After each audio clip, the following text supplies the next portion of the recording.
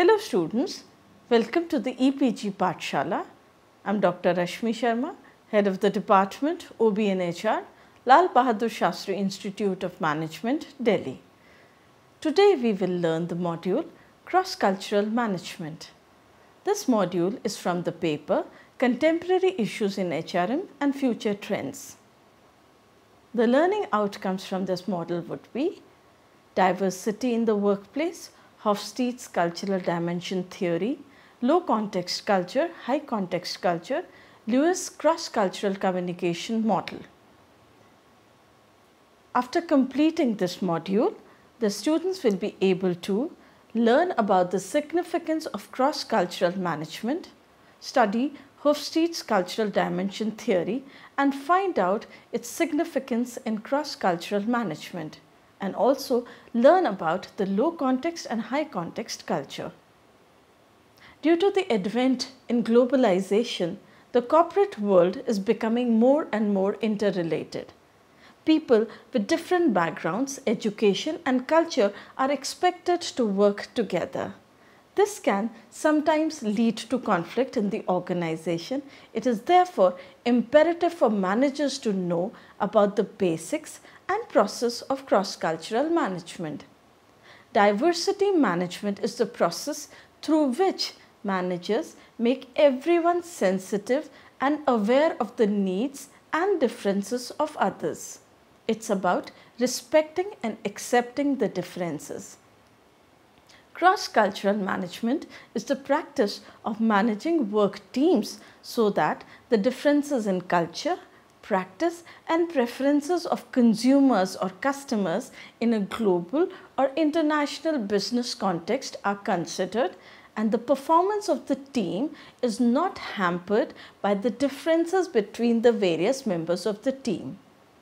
In order to compete in a world that is no longer bound by geographical, corporates have now come to understand that they need to change and modify their methods of managing people. While intercontinental commercial transactions go back hundreds of years back, intercultural interactions are becoming increasingly important in today's world because more and more people having access to wider and newer markets due to the new technology and we can see that the world is rapidly shrinking. The world is shrinking at an increasingly faster rate because of this wireless technology and communication technology. The interactions between people is becoming faster and faster and at the same time travel has become faster and easier. Therefore, it is important for people to know how to interact across different cultural contexts. The necessity of cross-cultural management as part of training or curriculum is not limited to business or managers only. It is also a requirement for many other professions. For example, academicians that intend to work in cultural situations that are different from the ones they were brought up in must have effective communication skills to prevent the mistakes confusion and to remain respectful to those around them both at the personal and professional level. Good communication skills are necessary for any and every professional. Therefore, learning to communicate effectively across various cultural settings and circumstances have become vital in any field. There are different ways to categorize and define what is and what is not culture.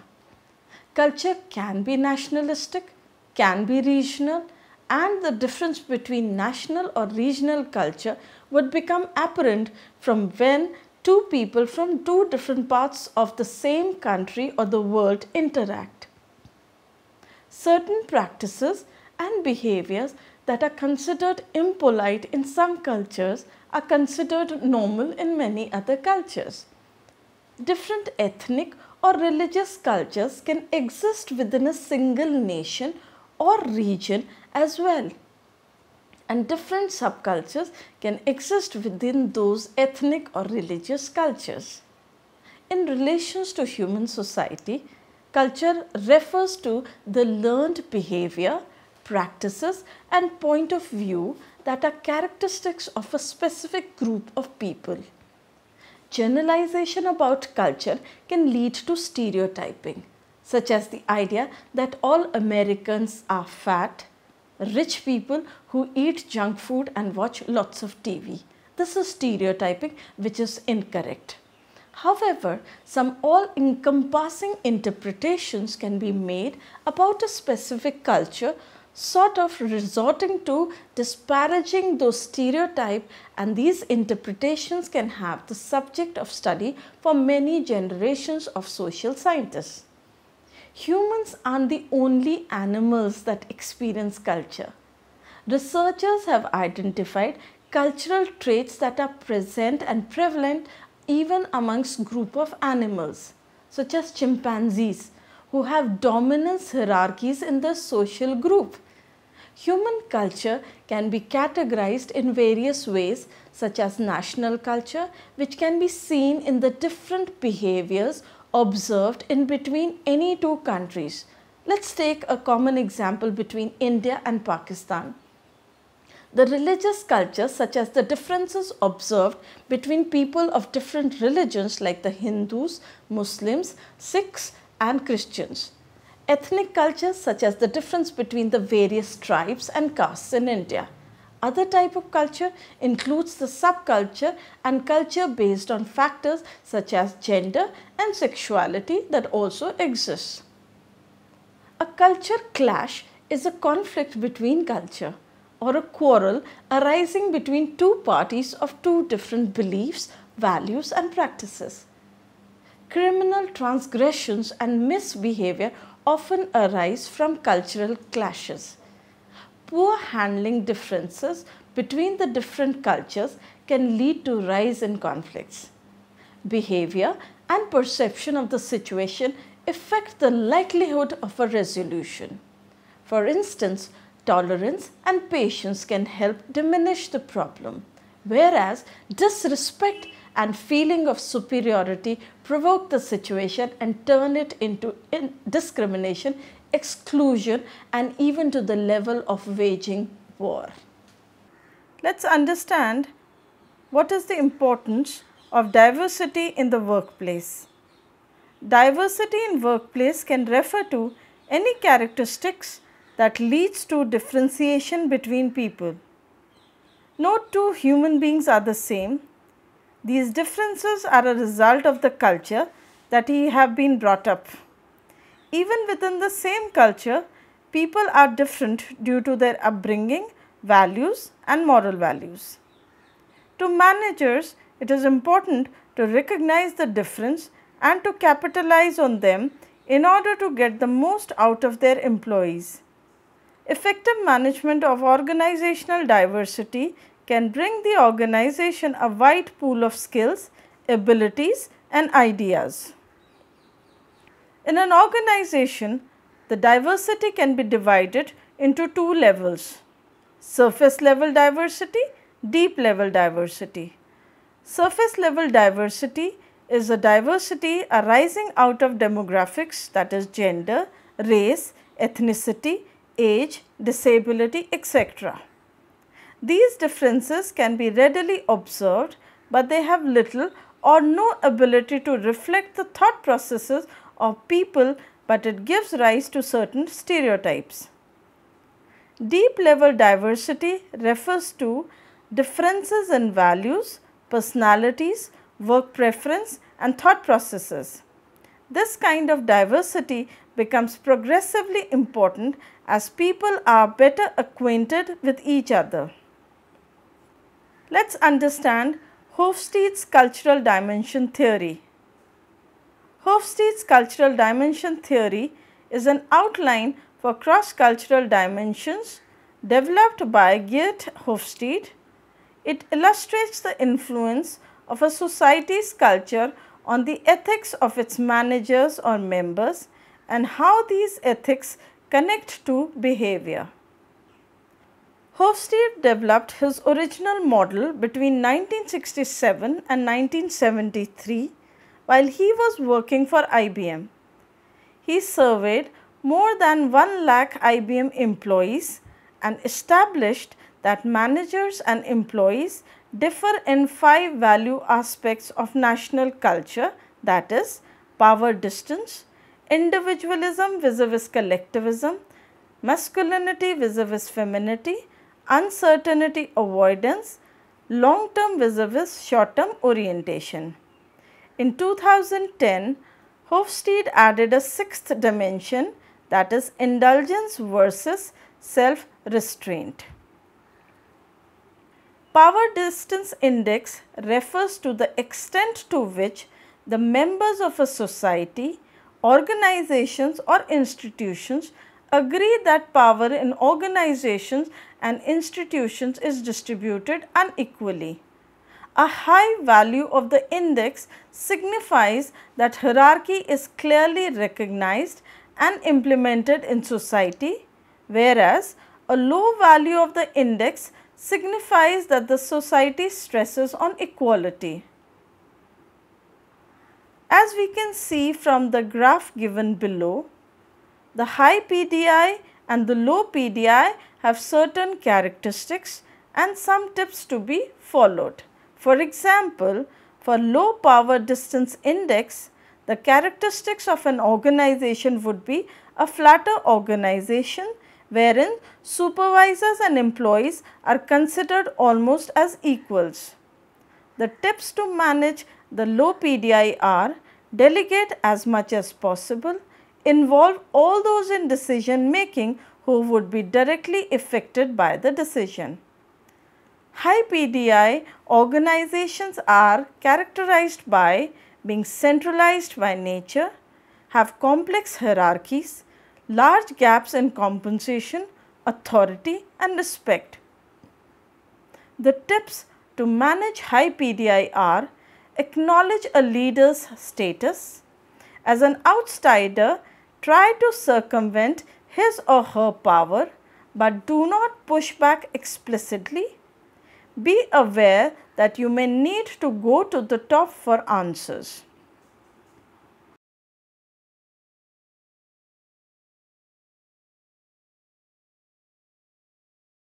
Individualism vis-a-vis -vis collectivism. It is the degree to which people in a society are integrated into groups. In individualistic society, people prefer to act as individuals rather than as groups whereas in collectivist society, we have a stronger social framework and members of a group support each other. As shown in the diagram, High IDV and low IDV people have different characteristics. People with low individualism emphasize on building skills and becoming master of something. They work for intrinsic rewards and they maintain harmony.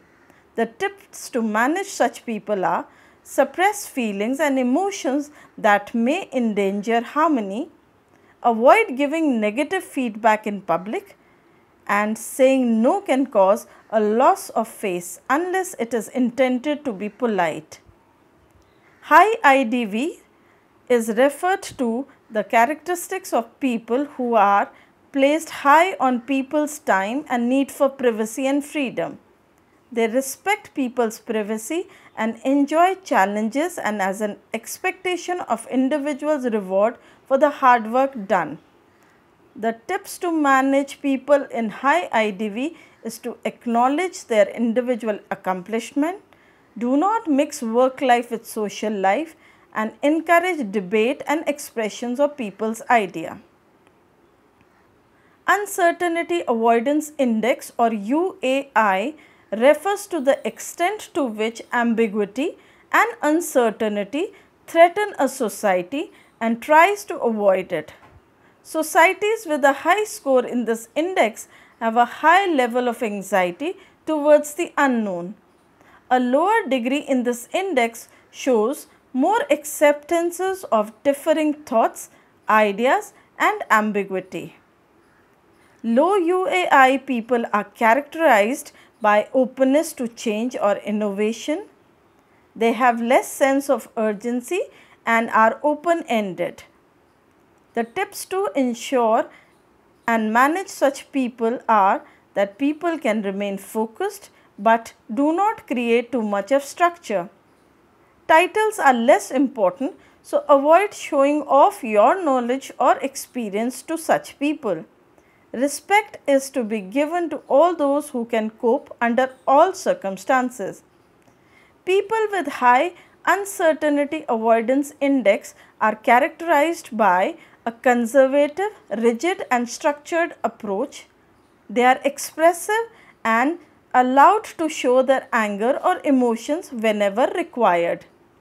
The tips to manage such people are be clear and concise about expectations and goals and set clearly defined parameters or unspoken rules or cultural expectations that you need to learn. Masculinity vis-a-vis femininity that is MAS. According to Hofstede, in this dimension, masculinity is the preference in society for traditional masculine roles of achievement, heroism, assertiveness, power, control and material rewards for success as compared to treating men and women as equals. In masculine society, there still is a recognized gap between male and female values. Let's understand how the low MAS score vis-a-vis -vis the high MAS score differ.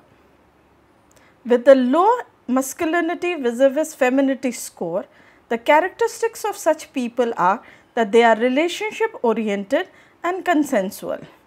They focus more on the quality of life. While people with high MAS score have strong egos, feeling of pride and importance attributed to status, money and achievement are very very important. Tips to manage people low on MAS are that success is more likely to be achieved through negotiation, collaboration and input from all levels, whereas people high in MAS are required to be differentiated on the basis of gender role. People are motivated by precise targets that you give and also by being able to show that they have achieved them either as a group or as an individual. Long term orientation vis-a-vis -vis short term orientation that is LTO. This dimension associates the connection of the past and the current and the future action or challenges.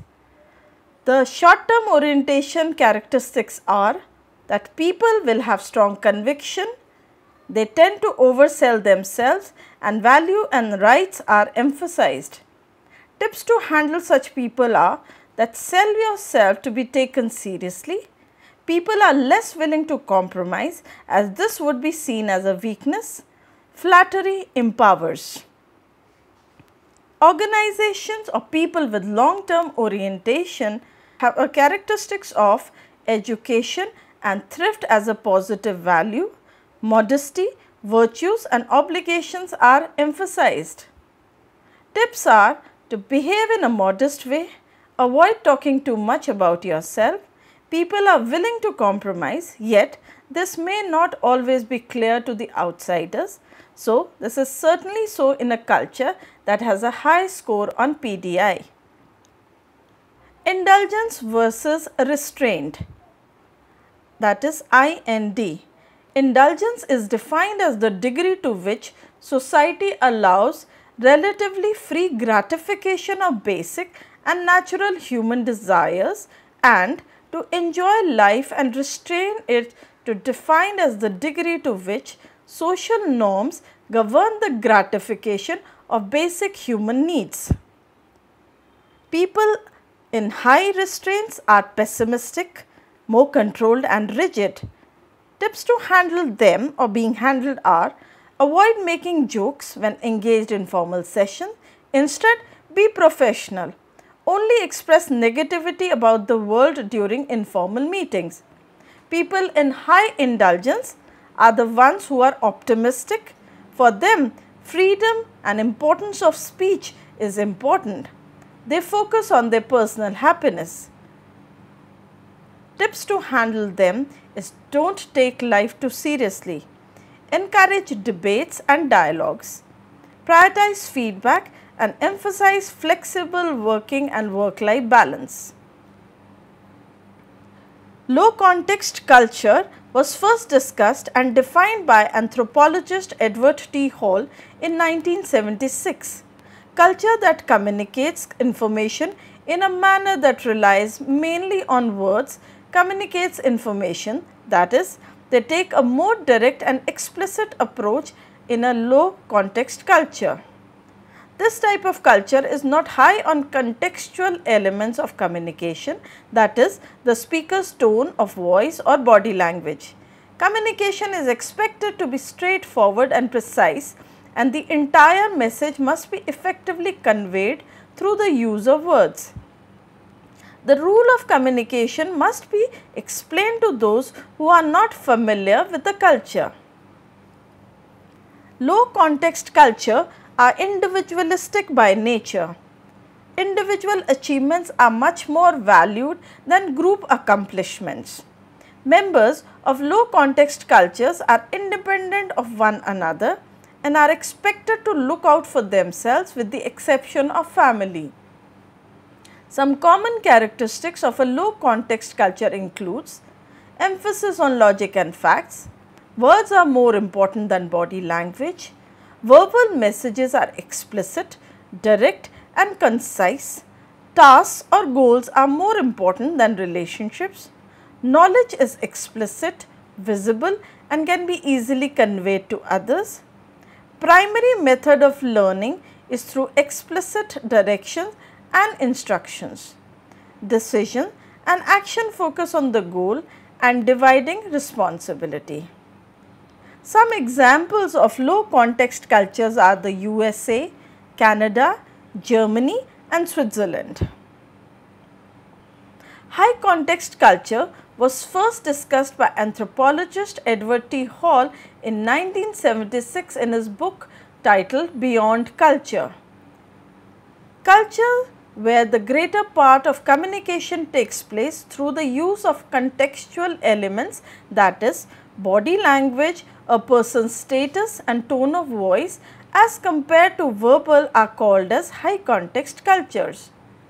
Members of high context cultures usually have close relationships that last for an extended period of time.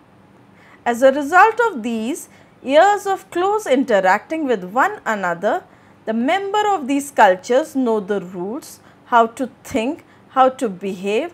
So, the rules do not have to be explicitly stated.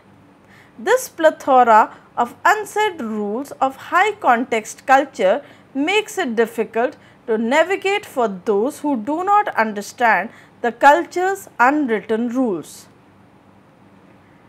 Some common characteristics of high context cultures include primarily use non-verbal methods to relay meaningful information in conversations such as facial expressions, eye movement and tone of voice. The situation, people and non-verbal elements are more important than the actual words that are communicated. People are comfortable standing close to each other. The preferred way of solving problems and learning is in groups. Members of the culture place emphasis on interpersonal relationships. Trust must be developed before business transactions can begin. Some examples of high context culture include Japan and other countries located in Asia, Brazil and other countries located in South America. The Lewis cross-cultural communication model wherein culture refers to learned behaviors, practices and points of view that are characteristics of a specific group of people. Our behavior is influenced by our culture and is learned over a period of time. There are many factors that influence our behavior such as religious upbringing, ethnicity, generation gap, class and gender programming, education, social culture and the professional ethics we have been taught and accepted. All these aspects influence our behavior and a variation in any of them will lead to a change in our own behavior. While these factors might look absolutes that are actually very, very subjective by nature that depends on the culture we have been brought up in. When we travel or move to another country, the social norms that we are so used to may not necessarily be the norm over there.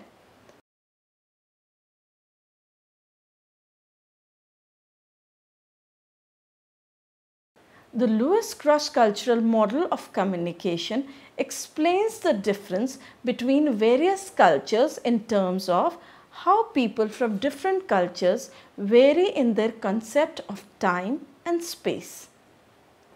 Handling the interpersonal distance, silence and eye contact and how their communication styles are reflected in the language patterns that they use, how they view the truth as absolute or negotiable that is modifiable according to the situations.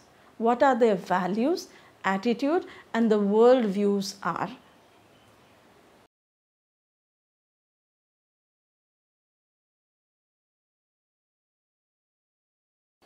In this module, we have learned that cross-cultural management is the practice of managing work teams so that the difference in culture are considered and the performance of the team is not hampered by the difference between the various members of the team culturally. It is therefore becoming increasingly important to study and understand the significance and techniques of cross-cultural management. Good communication skills having the ability to communicate effectively and knowing the differences in culture that is low context and high context culture are the cornerstones of cross-cultural management. We have also learned the six dimensions given by Hofstede for the culture values that is the power distance index that is PDI, individualism versus collectivism that is IDV, Uncertainty Avoidance Index that is UAI, Masculinity vis-a-vis Femininity that is MAS, Long-term Orientation vis-a-vis the Short-term Orientation that is LTO, Indulgence vis-a-vis -vis Restraint. And we have also learned about their significance in the cross-cultural communication we have differentiated between the low context culture and the high context cultures and looked at the prime characteristics between these two cultures. We have looked at the Lewis cross-cultural communication model of communication and has observed how different cultures act in different situations. Thank you.